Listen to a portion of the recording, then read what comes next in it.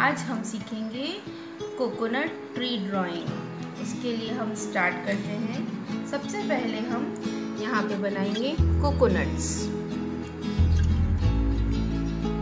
Like this अब हम इसकी लीफ बनाएँगे। यहाँ एक कॉर्नर से स्टार्ट कर ऐसा स्ट्रेट बिल्कुल नहीं करेंगे। क्योंकि कोकोनट ट्री की लीफ एकदम स्ट्रेट नहीं होती है। नाउ अब हम थोड़ी सी इसमें like go down and up इस तरह से डिज़ाइनिंग करते हुए हम आगे बढ़ेंगे। Like this then second leaf like this आप लीफ अगर बना रहे हैं तो थोड़ी छोटी, बड़ी बना सकते हैं, ऐसा कोई बाउंडेशन नहीं है। बस शेप लीफ का एग्जैक्ट होना चाहिए। Now third leaf like this कर देन गो अप इससे लीफ का एग्जैक्ट शेप आ जाएगा। Now then go up like this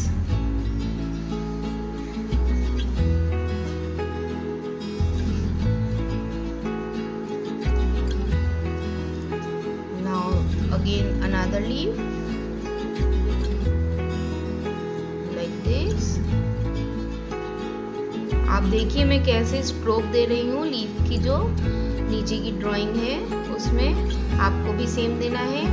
अब इसकी हम बनाएँगे नीचे का part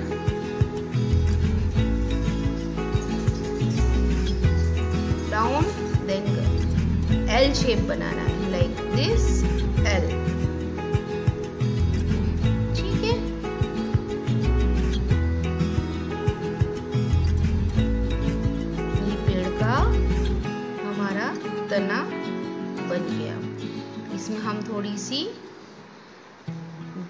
डिज़ाइन दे देते हैं। इससे ये अच्छा दिखेगा। अब हम एक और ट्री बनाएँगे इधर। सेम लाइक कोकोनट बनाएँगे हम पहले वाले जैसे ही। एक और इसमें लीफ स्टार्ट करेंगे। अब ये लीफ यहाँ पे कट हो रही है और उस तने के पीछे जा रही है तो हम उसको वहीं छोड़ देंगे। सेकंड लीफ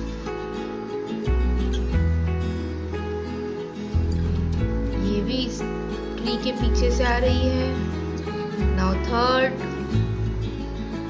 आप भी जो लीफ की डिज़ाइन है, वो थोड़ी चेंज भी कर सकते हैं। ज़रूरी नहीं है कि आप एकदम कॉपी ही करें।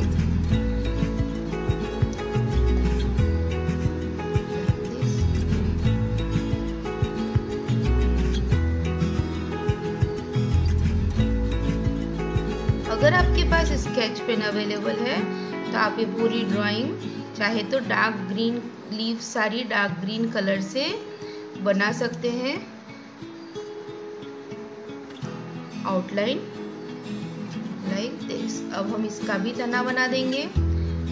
इसे एल शेप में बनाएँगे। लाइक दिस सेम इस तरफ़ भी उल्टा एल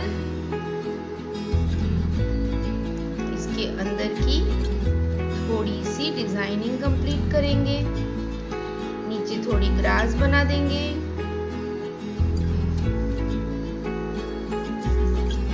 और थोड़ा सा हम सैंड का यहाँ पे टेक्सचर दे देंगे।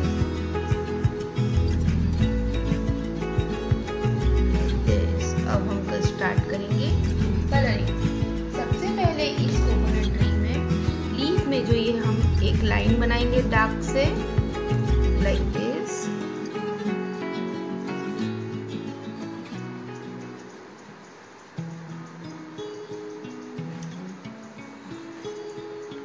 इधर भी बना देंगे।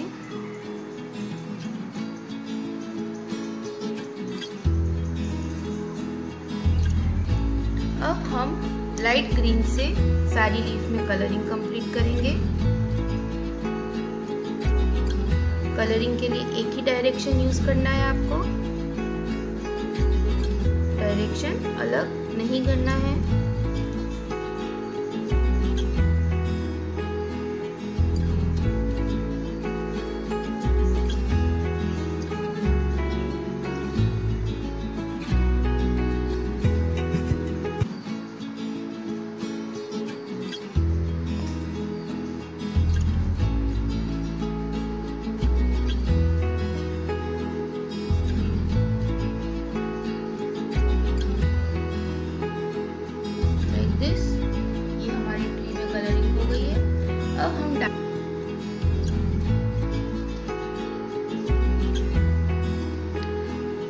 क्रेयॉन से कर रहे हैं, इसलिए मैं आपको ऐसे शेडिंग सिखा रही हूँ।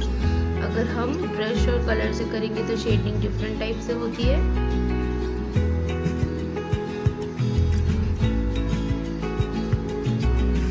अब जो ये हमारी लाइन थी, इसमें भी हम हल्का हल्का डार्क शेडिंग कर देंगे।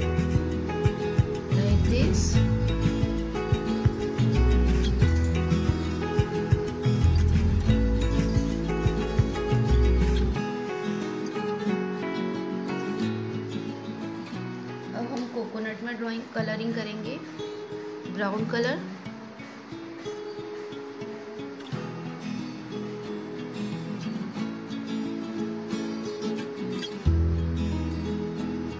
सेम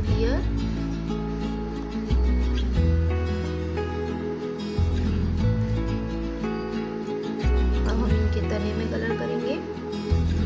ब्राउन हम इसके तने में भी ब्राउन कलर अभी कर रहे हैं प्लेन फिर हल्की हल्की शेडिंग से हम इसकी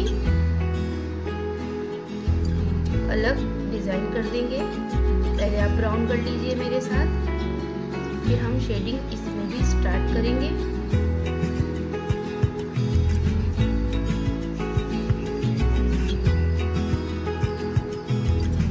शेडिंग करने के लिए मैं डार्क ब्राउन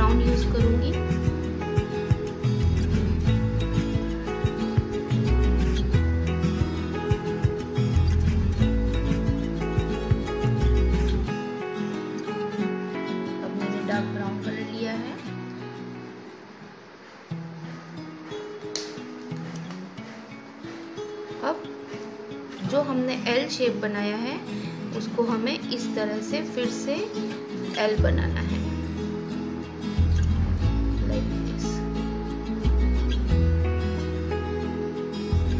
तो की वो वाली शेप अलग से निकल के बाहर आ जाएगी।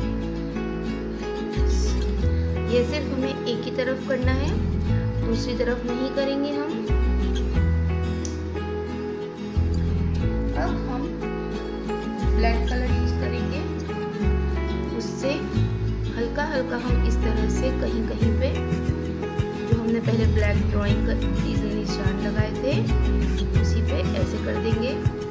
कहीं हम ऐसे साइड में भी दे सकते हैं थोड़ा सा ब्लैक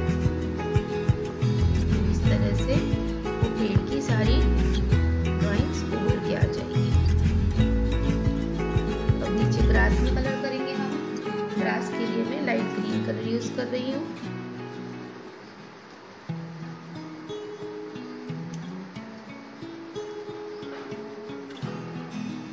अब सैंड के लिए हम ओकर कलर यूज़ कर रहे हैं। अगर आपके पास ये वाला कलर नहीं है तो आप इसकी जगह लाइट येलो कलर भी कर सकते हैं।